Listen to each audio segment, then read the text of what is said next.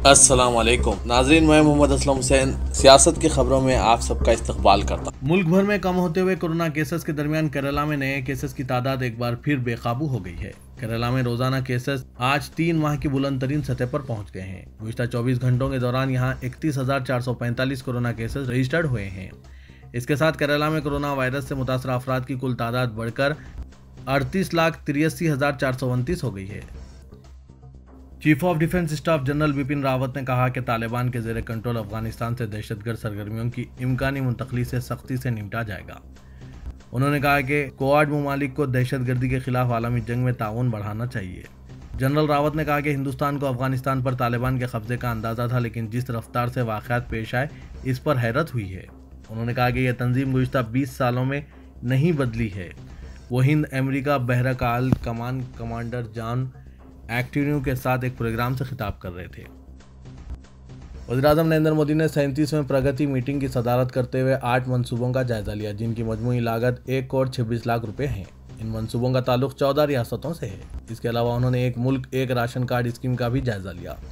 इस मौके पर मोदी ने अहदेदारों से कहा कि वो टेक्नोलॉजी का हम मकसदी इस्तेमाल करें और शहरियों को ज़्यादा से ज़्यादा फ़वाद पहुँचाए। प्रोजेक्ट्स पर तबसरा करते हुए वजी अजम ने कहा कि इनकी बर वक्त तकमील बहुत ज़रूरी है। इन आठ प्रोजेक्ट्स में तीन मनसूबों का ताल्लुक वजारत रेलवे और वजारत रोड ट्रांसपोर्ट व हाईवेज से है, जबकि दो का ताल्लुक वजारत तोानाई से है। जिन रियासतों का अहाता किया गया है, इनमें उत्तर प्रदेश, मध्य प्रदेश, पंजाब, हिमाचल प्रदेश, गुजरात, राजस्थान, महाराष्ट्र, हरियाणा, छत्तीसगढ़, अरुणाचल प्रदेश, सिक्किम, उत्तराखंड, मणिपुर और दिल्ली हैं। हिंदुस्तान में आज़ादी के बाद से जारी फिरके वाराना फसादात को मुल्क के लिए ख़तरनाक करार देते हुए जमतुलमाहीन के सदर मौलाना सैयद अरशद मदनी ने कहा कि जिस तरह मुल्क में फ़िरका परस्ती सर उठा रही है, वो बहुत ख़तरनाक है। अगर ये सिलसिला इसी तरह जारी रहा तो इसका ख़तरनाक मंजर मुल्क देखेगा। ये बात उन्होंने मुजफ्फरनगर के बागवान वाली में मुजफ्फरनगर फसादात के मुतासरी को मकानात की चाबियाँ तकसीम करते हुए कही। उन्होंने कहा कि वही हुकूमत तवील अरसे तक कायम रहती है जो अमन व अमान कायम करने में इम्तियाज़ नहीं करती और ना ही अकलीत व अक्सरियत के दरमियान फ़र्क करती।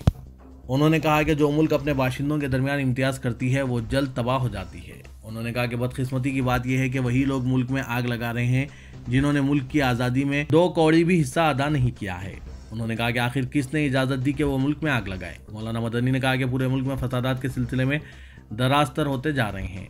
इसलिए मसले का हाल ये कतई नहीं है कि लोग अपने गाँवों को छोड़ दें, क्योंकि हमारा मुल्क हिंदुस्तान सदियों से अमन व इतिहाद और मोहब्बत का गहवारा रहा है, जिसमें तमाम मज़हब के लोग सदियों से एक साथ रहते आए हैं। सबक मरकजी वज़ीर हरसमृत कौर बादल ने मरकज से मुतालबा किया है कि जंगजदा अफ़गानिस्तान से हिंदुस्तान आने वाले सिखों और हिंदुओं की बाजाबाद बाजाबादकारी में सहूलत पैदा करने के लिए सी ए कानून में तब्दीलियाँ की जाए। उन्होंने ये भी कहा कि सिखों के मुक़दस किताबें हिफाजत के साथ हिंदुस्तान लानी चाहिए। मशहूर व मुमताज़ शायर और अपनी बयानबाजी को लेकर सुर्खियों में रहने वाले मुनवर राना के बेटे को लखनऊ में पुलिस ने चारशुमे की शाम छः बजे गिरफ़्तार कर लिया। मुनवर राना के बेटे तबरेज राना को पुलिस ने इनके घर से ही गिरफ़्तार किया। बताया जा रहा है कि अपने चचा को झूठे मुकदमे में फंसाने के लिए तबरेज ने खुद पर गोली चलवाई थी। लेकिन एक सीसीटीवी फुटेज सामने आने के बाद इसकी पोल खुल गई और पुलिस ने इसे गिरफ़्तार कर लिया।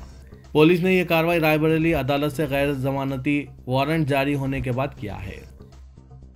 उत्तर प्रदेश को मुल्क के सबसे बड़े और तरक्की याफ्ता डिफेंस मैन्युफैक्चरिंग सेंटर के तौर पर कायम करने के सिलसिले में अब रियासत के डिफेंस इंडस्ट्री कॉरिडोर में तेज़ी आ गई है और ब्रह्मोस एयरवो स्पेसेस को ब्रह्मोस मिसाइल के इस कॉरिडोर में तामीर के लिए लखनऊ नोड में 200 एकड़ ज़मीन मुहैया करवाई गई।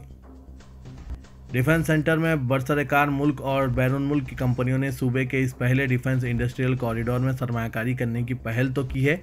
ब्रह्मोस एयरो स्पेसेस के सीईओ और एमडी सुधीर कुमार मिश्रा ने रियासत के डिफेंस कॉरिडोर में ब्रह्मोस मिसाइल बनाने के लिए 200 एकड़ ज़मीन मुहैया करवाने की दरख्वास्त की है। इस सिलसिले में मिश्रा गुजशत रोज़ चीफ मिनिस्टर योगी आदित्यनाथ से मिले हैं। वजी अला से मुलाकात के दौरान उन्होंने डिफेंस कॉरिडोर में ब्रह्मोस मिसाइल बनाए जाने से मुतल मनसूबे के बारे में बताया। अरकान पार्लियामेंट और एमएलए के खिलाफ फौजदारी मुकदमात के इब्तदाई मुकदमे की समात सुप्रीम कोर्ट में हुई है। अदालत ने सीबीआई और ईडी पर मुकदमे की समात में ताखिर पर सख्त तनखीद की है। Chief justice of India N V Ramana ने कहा कि केस 15-20 साल से जेर अल्तवा है। ये एजेंसियाँ कुछ नहीं कर रही है, खासतौर पर ईडी सिर्फ़ जायदाद जब्त कर रहा है। यहाँ तक कि कई मामला में चार्जशीट दाखिल नहीं की गई। मुकदमात को इस तरह लटका कर नहीं रखें। चार्जशीट फ़ाइल करें या बंद कर दें। मुकदमात में ताखिर की वजह भी नहीं बताई गई है। तुर्क सदर रजब तैयब अर्दगान ने मुस्लिम नौजवानों पर ज़ोर दिया कि वो खुद को बाख्तियार बनाएँ, ज़िम्मेदारी निभाएँ और मगरब में जारी बहरानों और बढ़ते हुए इस्लामोफोबिया के मुकाबले में मुतहद रहें। चार शुमे को इस्तंबुल में ओ यूथ फोरम के चौथे जनरल असम्बली से खिताब करते हुए उन्होंने मुसलमानों पर भी ज़ोर दिया कि वो नाइंसाफ़ियों के खिलाफ अपनी आवाज़ उठाएँ। अर्दगान ने इस्लामी कोऑपरेशन यूथ फोरम को अपने वीडियो पैगाम में कहा कि मुसलमानों को अपने अमन और फलाह व बहबूद के साथ साथ पूरी इंसानियत की सलामती और मुस्तबिल की ज़िम्मेदारी लेनी चाहिए और नाइंसाफ़ियों के खिलाफ अपनी आवाज़ उठानी चाहिए। उन्होंने अपने पैगाम में कहा कि सलामती के मसाइल दहशत गर्दाना, सरगर्मियाँ और वबाई अमराज जो मुसलसिल आलमी एजेंडे को अपनी लपेट में लिए हुए हैं और इसकी वजह से अमन कायम करने की ख्वाहिश को पूरा नहीं किया जा रहा है। उन्होंने कहा कि ये मसाइल जो पूरी इंसानियत के लिए ख़तरा है, बदकस्मती से आलम इस्लाम को बुरी तरह मुतासर कर रहे हैं।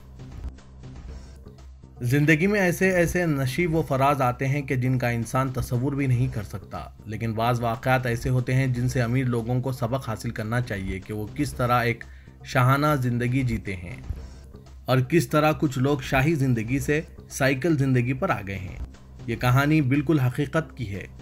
सादात नामी एक शख्स की है जो सबक सदर अफ़गानिस्तान की काबीना में वज़ीर टेक्नोलॉजी रह चुके हैं, लेकिन ये बात इस वक्त तक किसी को मालूम नहीं हुई जब तक ये पता नहीं चल गया कि मौसूफ अब जर्मनी में एक पिज़्ज़ा डिलीवरी बॉय की हैसियत से काम कर रहे हैं।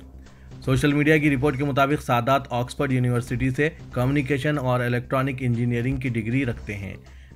लेकिन अब वो जर्मनी के शहर लेब्जिक में गुजशत साल दिसंबर से सुकूनत पजीर हैं। सादात ने अशरफ गनी की काबीना में 2018 में शमूलियत इख्तियार की थी और इन्हें वज़ीर बरए कम्युनिकेशंस और टेक्नोलॉजी का खलमदान सौंपा गया था। अशरफ गनी के साथ इख्तलाफात के बाद 2020 में वो अपने अहदे से मुस्तफ़ी हो गए थे और अफ़गानिस्तान छोड़कर जर्मनी में आबाद हो गए।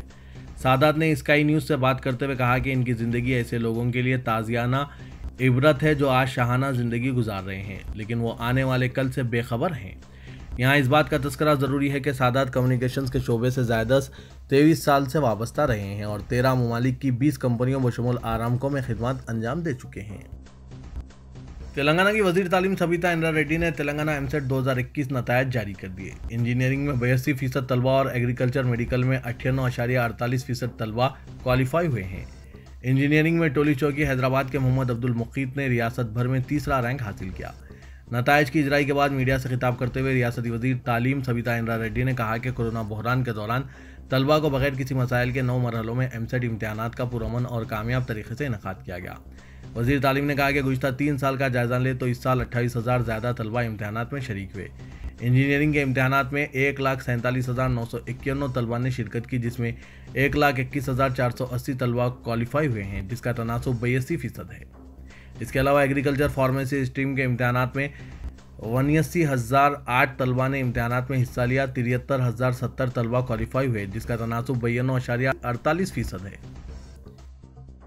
तेलंगाना के चीफ सेक्रेटरी सोमेश कुमार ने हैदराबाद में टीका अंदाजी मुहिम का जायजा लेने के लिए आज परिवार टाउनशिप, उप्पूगुड़ा चन्नानगुट्टे टीका अंदाजी मरकज का मायना किया। उन्होंने अवाम से अपील की कि इस सहूलत से इस्तेफादा करते हुए वैक्सीन की खुराक हासिल करें। उन्होंने अवामी नुमाइंदों से दरख्वास्त की कि अवाम में शौर बेदारी के ज़रिए टीका अंदाजी में हिस्सा लेने की तरगीब दे ताकि हैदराबाद में सत फ़ीसद टीका अंदाजी का निशाना मुकम्मल हो। चीफ सेक्रेटरी ने अहदेदारों से इलाके में टीका अंदाजी मुहिम के बारे में तफसीत हासिल की। हैदराबाद ट्रैफ़िक पुलिस की जानब से टैंकमेंट पर सयाहों और तफरी के लिए आने वालों की सहूलत के लिए हर इतवार को शाम पाँच बजे से रात दस बजे तक ट्रैफ़िक बंद कर दिया जाएगा। वज़ीर बल्दी नजवनस के टी रामाराव ने city commissioner police Anjani Kumar को इस पर गौर करने के लिए कहा था। कबल सिंह अशोक चंद्र शेखर नामी एक शहरी ने के को ट्वीट करते हुए इस जानब तोज्जो मफजूल करवाई थी कि इतवार को तफरी के लिए टैंकमेंट पर आने वालों के लिए टैंकमेंट की सड़क अबूर करना इंतहाई खतरनाक साबित हो रहा है, जिस पर यह फैसला किया गया है। तेलंगाना में चार एडिशनल डीजीपी अहदेदारों को डीजीपी के अहदे पर तरक्की दी गई है। इतलात के मुताबिक इस जीवन में अहकाम जारी कर दिए गए हैं। जिन अहदेदारों को डीजीपी का दर्जा दिया गया है, इनमें हैदराबाद कमिश्नर पुलिस अंजनी कुमार के अलावा ओमेश शराफ, गोविंद सिंह और रवि गुप्ता शामिल हैं। हुकूमत ने आज रात एक जियो जारी करते हुए ओमेश शराफ को कमिश्नर, स्टेशनरी एंड प्रिंटिंग के अहदे पर तकर्र किया है। Commissioner police Cyberabad V C Sajjanar का तेलंगाना हुकूमत ने तबादला करते हुए इनको managing director Telangana state road transport corporation मुकर किया है। इस खसूस में रियासत के चीफ सेक्रेटरी सोमेश कुमार ने अहकाम जारी कर दिए। सजनार की जगह वेस्ट जोन के आईजी स्टीफन रविंद्रा को कमिश्नर साइबराबाद मुकर किया गया है। रियासती वज़ीर बल्दी टी आर ने एक गरीब तालिबा को आई आई टी की तालीम हासिल करने के लिए अपने तौर पर माली इमदाद पेश की। दो साल कबल जिला वरंगल के हसनपर्ती से ताल्लुक़ रखने वाली तालिबा एम अंजलि को आईआईटी में नशिस्त हासिल हुई थी। तहम इस लड़की का गरीब ख़ानदान से ताल्लुक़ था। गुर्बत और मुआशी मसाइल के बाद इस तालिबा का तालीम हासिल करना मुश्किल था। इस लड़की ने अपने ख़ानदान की गुर्बत और मसाइल से रियासती वज़ीर के टी आर को वाकिफ़ कराते हुए तालीम हासिल करने में ताउन करने की अपील की थी। के टी आर ने इस तालिबा के बारे में मालूम हासिल करने के बाद अपने जेब खास से आई आई टी की तालीम हासिल करने के मामले में तालिबा अंजलि की मदद करने का तहकुन दिया। गुज्त दो साल से के टी आर हर साल मुकम्मल तालीमी फ़ीस अदा कर रहे हैं। वादे के मुताबिक रियासती वज़ीर बल्दी नजवनस के टी आर ने आज आइंदा तालीमी साल की मुकम्मल फ़ीस अंजलि के अरकान ख़ानदान को पेश की और तालिबा अंजलि से मुस्तबिल के मनसूबाबंदी के बारे में मालूम हासिल की और अली तालीम हासिल करते हुए मजीद तरक्की करने के लिए तालिबा अंजलि से नए ख्वाहिशात का इजहार किया। हुकूमत ने रियासत के तमाम अरकान असम्बली और अरकान कानून साज कौंसिल के लिए हल्के जाती तरक्याती फ़ंड जारी किए हैं। हर रुकन मुखन्ना के लिए दो करोड़ पचास लाख रुपए की इजराई अमल में आई है। पहले और दूसरे सहमाही के तहत तीन जुमरों में ये रकम जारी की गई। आम जुमरों के अलावा एससी और एसटी जुमरे के तहत रकम तकसीम की गई है। हैदराबाद के पंद्रह अरकान असम्बली और चार अरकान कौंसिल को फीकस ढाई करोड़ रुपए जारी किए गए। रियासती हुकूमत के महकमा सयाहत की जानब से पुराने शहर में तरक्याती कामों की मंजूरी और सयाहती व तफरी मकाम की तरक्की के लिए तारीखी चार मीनार पर साउंड एंड लाइट शो शुरू करने का ऐलान किया गया। चार मीनार पैदल रारो प्रोजेक्ट के सिलसिले में जारी तरक्याती कामों के दौरान इस बात का इंकशाफ किया गया था कि चार मीनार पर साउंड एंड लाइट शो शुरू करने का मनसूबा तैयार किया जा चुका है और इस मनसूबे के तहत चार मीनार के दामन में सयाहों के लिए खसूस इंतज़ाम के अलावा साउंड एंड लाइट शो को पुरअसर बनाने की हमत अमली तैयार की जा रही है। बताया जाता है कि तारीखी चार मीनार पर शुरू किए जाने वाले sound and light light show के सिलसिले में आलमी सतह की कंपनियों की जानब से तैयार किए गए साउंड एंड लाइट शो का मुशाह किया जा रहा है और इस खसूस में Dubai, Australia, England, London, Paris और दीगर ममालिक में मौजूद साउंड एंड लाइट शो की तफसीत हासिल की जा रही है।